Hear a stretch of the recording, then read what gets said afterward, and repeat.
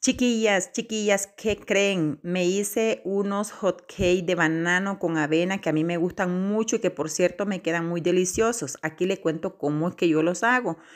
En una licuadora que sea poderosa, la licuadora obviamente, vamos a licuar dos tacitas de avena, la avena en hojuela, esa avena que está gruesa, la avena gruesa, no la molida.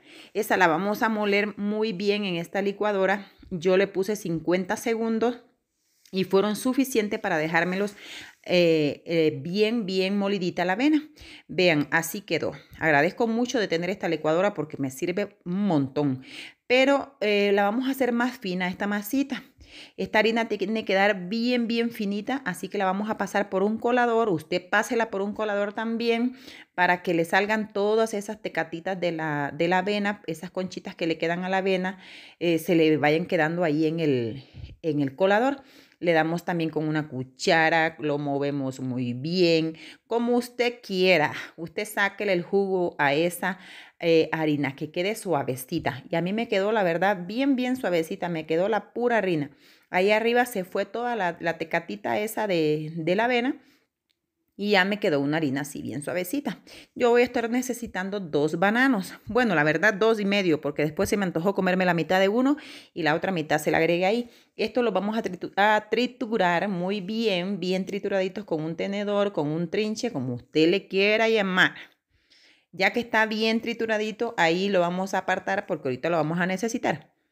A la harina que ya molimos le vamos agregando un huevo, dos cucharadas de azúcar o eso ya es según su, su, criterio, según su gusto. Le ponemos un poquito de sal, un poquito de royal o soda o polvo para hornear, como usted quiera decirle. Le agregamos un poquito de vainilla para el sabor. También ahí mismo le vamos a vaciar todos esos bananos que habíamos ya machacado. Aparte de esto, también le vamos a poner leche. La leche es de su preferencia, que si leche de soya, que si leche de esto, que si la leche de que usted quiera. Eso es a su gusto.